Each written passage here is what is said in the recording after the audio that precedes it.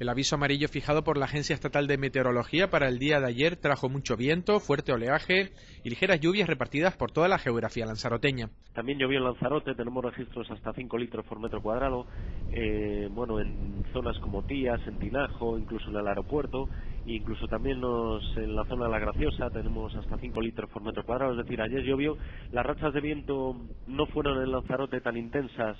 o en Fuerteventura como las islas de más relieve, pero también registramos rachas por encima de 60, incluso casi 70 kilómetros por hora. Durante la jornada de hoy martes, el mal tiempo irá amainando hasta ya lograr que mañana regresen los cielos despejados y la ausencia de fuertes vientos. La situación a lo largo del día de hoy tiende a mejorar, la fuerza del viento disminuye, el oleaje también